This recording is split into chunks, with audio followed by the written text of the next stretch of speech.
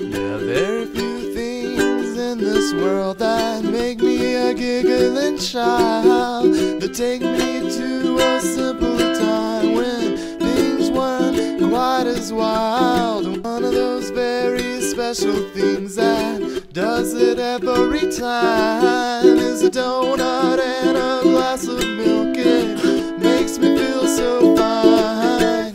Everybody loves donuts.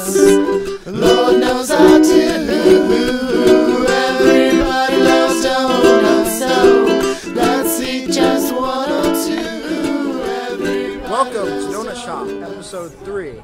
Today we're short one guy, so it's just gonna be me, Will, Me, Marcus. our special guest. Frankie, again, for the third time in a row. Awesome. Um, so unfortunately Ryan is sitting out today, so maybe a little bit short. Yeah, he's actually spitting some game at some girl over there right now. I knew it. Walking know, by. right? I knew it. Yeah, he had to go turn some college applications.